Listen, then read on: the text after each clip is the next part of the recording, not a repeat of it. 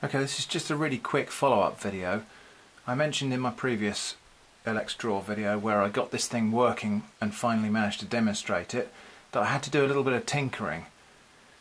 I thought it might actually be useful to people if I just go over all the things I had to do here to get this working because it might be of help to somebody else who's bought one of these kits and is experiencing the same problems as I am. So let's just run down on the mechanical tinkering I had to do first. Okay, well firstly these screws here that fix these two plates together, you mustn't over tighten these.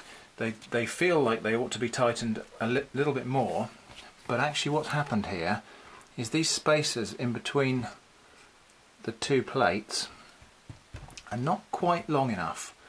And if you if you tighten these screws as fully as they seem to need to be tightened, what happens is these two pairs of linear bearings that uh, rest on top of each other which you can just see inside there, they go out of alignment and what you'll find then is this carriage doesn't move very freely in the X and Y directions. It kind of goes gritty and it feels like it's jamming on the rods. So what I found is I assembled it all and then I just backed off these screws a tiny little bit until it freed up and at that point it moved much more smoothly and freely. The next thing is the belt. The instruction manual tends to imply that you assemble the bottom part of this plate with the bearings, then you fit the belt, and then you put the top plate on. That's actually impossible to do.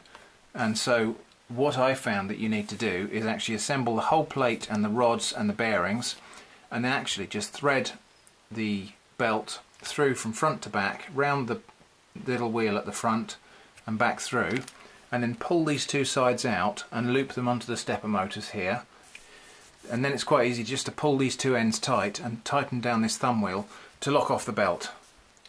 In terms of tension for the belt that is about what seems to work so it's just about tight enough to twang when it's plucked but it's not it's not rock hard tension there. The pen lifting mechanism. I'm not sure if I've actually assembled this right because I was talking to somebody else who's got theirs assembled so that the servo pushes the pen down and actually they've had to fit a spring in there to return the pen to the upright position. I'll show you how, how I've actually fitted mine because I can just drop these rods out of here and the pen mechanism will come out. And so I've actually turned my servo so the spindle is on the right hand side there, the servo horn is there, and then I moved this screw so that that screw sits on top of the, the servo horn there.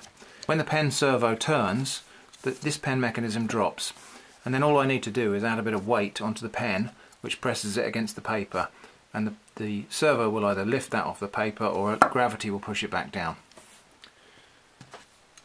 I did find that these rods which fit into these linear bearings on the pen carriage are just a little bit poorly engineered, I don't know, perhaps a little bit rough and perhaps not perfectly smooth.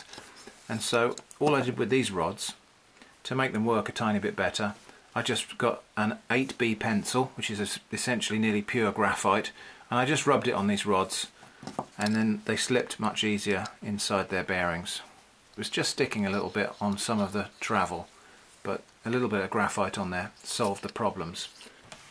The cable restraints for the servo wire, not documented at all in the instructions, but I figured out from watching the video that I think this one is meant to bolt onto there, and across to the central bolt of the carriage there and then the second one bolts onto here and the right angle part bolts onto the front face of the plate here. It's not really all that brilliant a way of keeping the cables completely raised but it does keep them out of the way of getting tangled up in the mechanism. So that wasn't detailed in the instructions at all but that's, that's how I've done it and it seems to work. So I think that's all of the mechanical problems that I had, or mechanical challenges and tinkering I had to do. There were a few bits and pieces with the software as well. In terms of tinkering to get the software and firmware running, I had to download this thing called ElexROM here, which is a little ROM utility for just updating the firmware and there's a program there called ElexROM that you run and you choose your device and it's EleksDraw Pro or, or standard EleksDraw. The machine has to be connected. When you select it it will detect and load the appropriate firmware for the controller. Up until I did that the XY wasn't working. It was it was not working on Core XY. There's nowhere to close that application. You have to kill it on the taskbar down here. So the other thing is that this ElexROM didn't even work out the box. I had to go and get this library called libusb 0. So I managed to download that from SourceForge. I had to rename it libusb 0 because it was called libusb 0 underscore 32 or something and it wouldn't have worked. So I had to rename it, put it in the same folder here as ElexROM, and then ElexROM worked okay. Up until that point, it just wasn't actually connecting to the controller device, and it was producing an, an unhandled exception. The EleksCAM application itself has to be run as administrator. That was the reason I was having all the unhandled exceptions when I was running this before.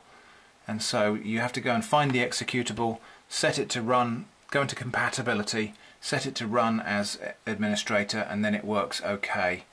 The most important thing for me was this, which is the thing that made the difference between the servo working and not working. You have to connect the device, you have to go down to this little box here where it says input G-code where you can send a manual G-code directly to the device and I just put A1 in there and sent it and that switched it from laser to servo mode and that's what made the servo work. Obvious when you know how, utterly obscure if you don't. I found that on the forum. I'll put a link in the video description to the forum and to the places where you can get the resources to download the ElexROM and the extra DLLs that you'll need to make this work. The one final thing, you can't immediately load an SVG file, it just fails. And again here I had to go and find a DLL for it and put that in the right folder. I'll put details in the description as to what you need to do there. It needs to go in the same program folder as the EleksDraw application. I'll put links in the video description to all these files and resources which hopefully will help you get yours working if you're experiencing any of the same troubles I did. So, sorry that's a bit boring, but I thought that might help. Thanks for watching and I hope to see you again soon.